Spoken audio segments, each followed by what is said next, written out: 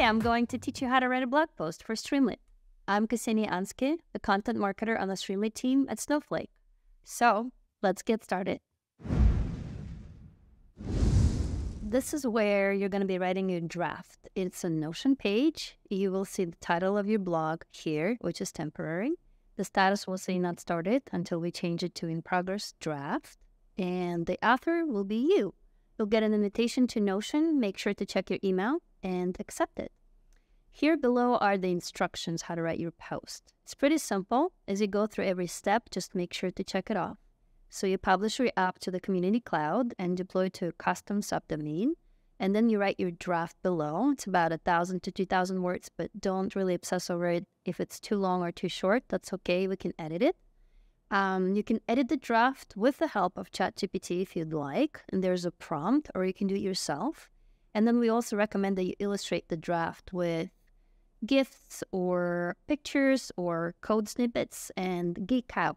Think about it that you're talking to a friend who's also a data scientist or machine learning engineer or someone who gets you and you are having coffee and you're just talking to them, explaining this really cool thing you did.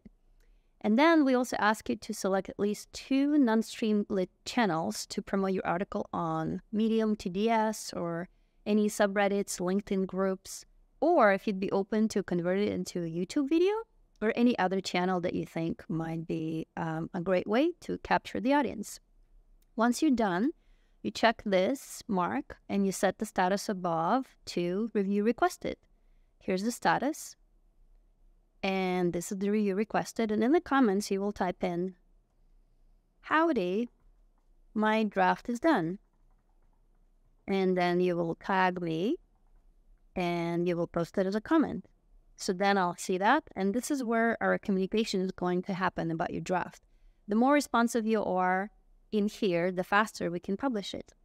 Now, here's the actual template. So you just fill it out, kind of like a survey, a questionnaire. Don't think about writing. You know how it is. We're all scared of the blank page. So this is already pre written for you mostly.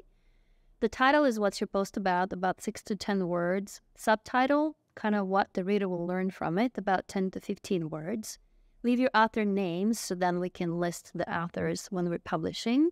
And the TLDR version at the top, really fill it out after you're done. And you can also ask ChatGPT to summarize it for you.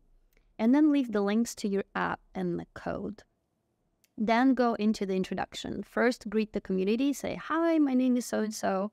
Tell us a little bit about why you got into data science and how. Then talk about the why of your app. Basically, it's a problem statement. Why did you do it? Do about two to three sentences and then do the how of your app, meaning how did you do it? And that's a solution statement. So, problem, you had a big problem and then you solved it with your app.